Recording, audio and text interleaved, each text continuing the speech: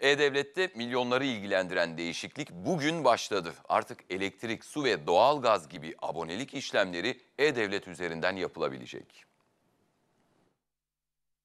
Elektrik su abonelik işlemleri artık E-Devlet üzerinden yapılabilecek. Nasıl bir kolaylık sağladı bizlere?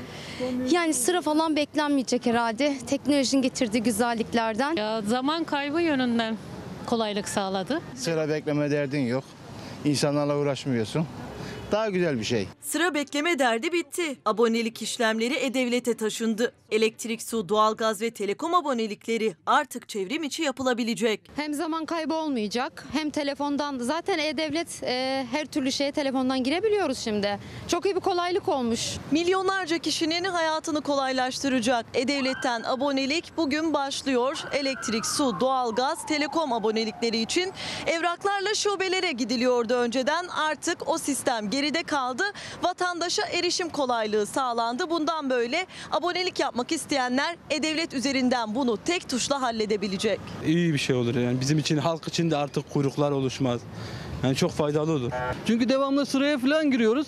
Bu sefer hiç olmaz internetten kendimiz hemen yapacağız. Bayağı güzel uygulama. Cumhurbaşkanı Yardımcısı Fuat Oktay yaptı açıklamayı. Tüm abonelik işlemlerinin artık E-Devlet üzerinden yapılabileceğini söyledi. Artık bugün itibariyle tüm bu abonelik işlemlerinin e-devlet üzerinden sunulmasına başlıyoruz. Tüm vatandaşlarımız oturdukları yerden internet yoluyla abonelik işlemlerini tamamlayabilecekler. Bundan sonra internetten yapabilir. Daha güzel, daha güzel.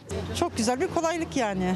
Yeni sistemle birlikte vatandaşın şubelere gitmesinin önüne geçilecek. E-Devlet'te abonelikle birlikte iptal işlemi de yapılabilecek. Abonelik işlemlerini E-Devlet üzerinden yapmak istemeyenler bu işlemleri şubede yapabilecek. E, gidip oralarda sıra beklemektense e, bizim için faydalı. İptal işlemleri de yapılabilecek oradan. E, Çok iyi. Gerçi o e-devleti herkes kullanamayabilir ama kullananlar için iyi bir şey yani öyle söyleyebilirim.